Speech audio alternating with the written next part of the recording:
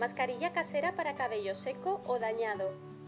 Para esta mascarilla únicamente necesitaremos medio aguacate, aceite de oliva virgen extra y un huevo. Comenzaremos partiendo el aguacate por la mitad.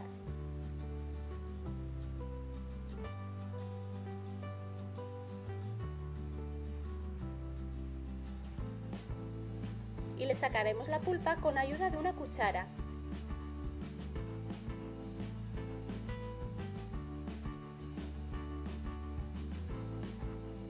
Lo aplastaremos con un tenedor y algo de paciencia y cuando lo tengamos listo le añadiremos el huevo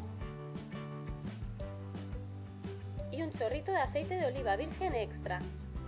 Lo mezclaremos muy bien y podéis dejarlo así, pero yo prefiero pasarlo por la batidora para que quede una textura más suave y agradable.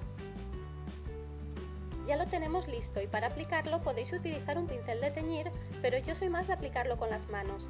Así es como lo hago yo. Primero me coloco una goma en la muñeca. Y como hoy he ido al súper, voy a reutilizar el guante que he usado para seleccionar la fruta, pero podéis utilizar perfectamente cualquier bolsita de plástico. Ahora lo que haremos es aplicar la mascarilla de medios a puntas. A continuación nos recogeremos el cabello y lo taparemos con un gorro de ducha, una bolsa, film transparente o como yo en este caso con un guante desechable.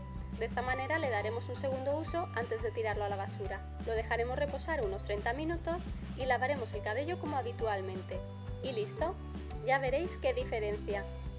Espero que os haya gustado, si lo probáis contadme qué tal os ha ido. Os recuerdo que podéis encontrarme en Facebook e Instagram. Nos vemos en el próximo vídeo. ¡Chao!